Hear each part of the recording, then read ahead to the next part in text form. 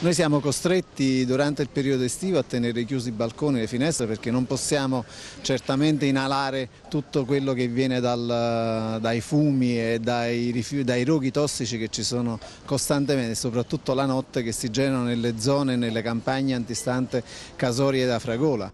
Sono almeno quattro anni che i cittadini della provincia di Napoli e Caserta videodenunciano i fumi tossici. Ieri è stata istituita una task force di super esperti del Ministero e dell'Istituto Superiore della Sanità con il comando dei carabinieri del NAS che saranno presto in missione nelle terre dei fuochi.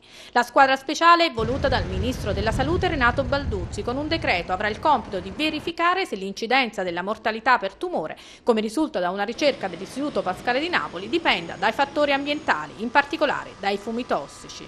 Almeno dal 2008, sono ormai eh, quattro anni, quattro anni diciamo dal momento in cui facemmo la prima denuncia raccogliendo circa 700 firme alla Procura della Repubblica per la questione dei roghi a Scampia.